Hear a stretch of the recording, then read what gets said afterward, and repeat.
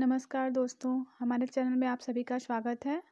चूँकि खिचड़ी का त्यौहार है और हम सब लोग लैया तिल वगैरह बनाते हैं तो इसी में हम, मैं आपको प्रस्तुत करने जा रही हूँ मूंगफली की चिक्की।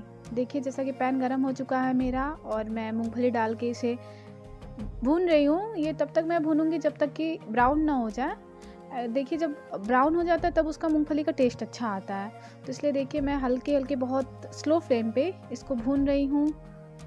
स्लोली स्लोली अच्छे से, ताकि पूरी तरह बराबर से भुन जाए। ऐसा ना हो कि कहीं कच्चा हो, कहीं पक्का हो, इस वजह से मैं बराबर से भुन रही हूँ, लगातार। देखिए, जैसा कि भुन चुका है, आप देख सकते हैं कि इस पर थोड़ी थोड़ी चित्ती पड़ चुकी है और ये बराबर से भुना है, कहीं जला नहीं है। और इसको मैं अब देखिए, थाली में निकाल ली हूँ, मैं इसको, इसका जो छिलका है, वो उतारने वाली हूँ। देखिए, मैं इसको हल्का हल्का रगड़ रही हूँ ताकि ये साफ़ हो जाए, छिलका निकल जाए, क्योंकि अगर छिलका रहता है तो टेस्ट में अच्छा नहीं आता और दांतों में फंसने की भी दिक्कत होती है। मैंने पूरा अच्छा साफ़ कर लिया है, आप सब देख सकते हैं। अब मैं इसके छिलके को साइड में कर रही हूँ, अलग कर रही हूँ दाने से। दाना मेरा अलग हो जा रहा है और छिलका अलग हो जा रहा है। आप सब देख सकते हैं, जो थोड़ी बहुत गंदगी है या फिर टूटे फूटे उनको मैं अलग कर दे रही हूँ, निकाल दे रही हूँ, ताकि एकदम देखने में सुंदर लगे। जब हम बनाते हैं चिक्का तो उसमें सुंदर दिखना भी चाहिए, ये भी ज़रूरी है। दांत में कुछ अटकना नहीं चाहिए, अक्सर इसमें थोड़े बहुत कंक्रीट वगैरह होते हैं तो सब भी निकाल लेना चाहिए। और मूँगफली के दाने को अलग अलग कर लेना चाहिए, बराबर से। जिससे जब आप उसे बना रहे हैं तो फिर उसका जो लेयर है, वो सही तरीके से बैठा है। ऐसा ना हो कि ऊँचा नीचा हो तो वो आपका सेप देने में दिक्कत होती है। इस वजह से, देखिए मैं अच्छे से इसको अलग कर रही हूँ। बहुत आराम से।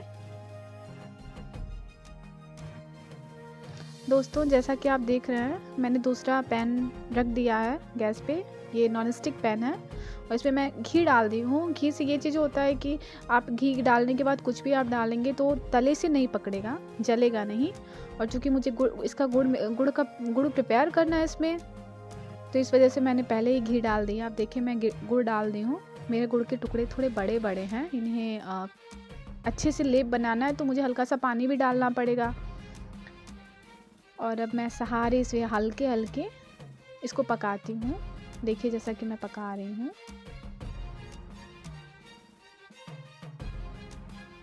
देखिए ये थोड़ा सा जो टुकड़ा है वो बड़ा बड़ा है। इस वजह से मुझे इसे हल्का सा दबा दबा के पकाना पड़ रहा है, ताकि ये अच्छे से बराबर से पक जाए, कहीं छोटा बड़ा ना हो, कहीं गुड़ का टुकड़ा ना बच जाए। अब देखिए उबाल खाने लगा है।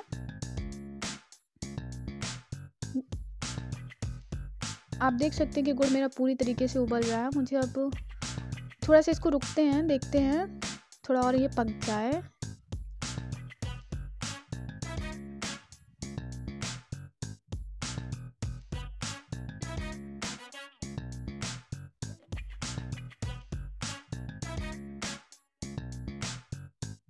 फ्रेंड्स आप लोग देखिए, मैं इसे लगातार चला रही हूँ। ताकि इसमें कहीं भी दाना ना बचे या फिर गुड़ का टुकड़ा ना बचे, अब मैं इसे चेक करने के लिए देखिए, पानी में डाल दी हूँ, छोटी सी कटोरी में आप ठंडा पानी लीजिए, उसमें डाल दीजिए। ये गुड़ को चेक करने के लिए ज़रूरी होता है कि हमें ये पता चले कि क्या हमारा गुड़ रेडी है कि नहीं चिक्की बनाने के लिए।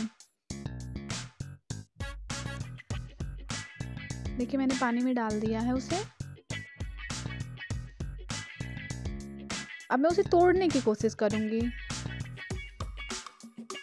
देखिए मैंने तोड़ मैं इसे तोड़ने की कोशिश कर रही हूँ बट वो टूटा नहीं।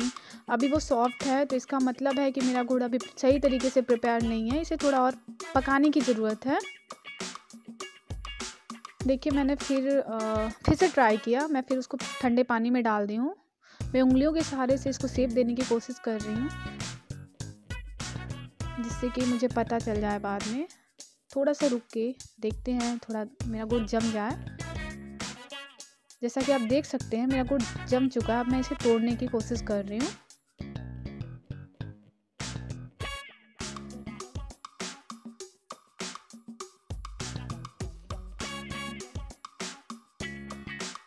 देखिए फ्रेंड्स, टूट गया ये। दैट मीन्स कि मेरा जो गुड़ है, वो अच्छे से प्रिपेयर हो चुका है चिक्की के लिए। अब मैं जो मेरे दाने हैं, मैं उनको इसमें डाल रही हूँ।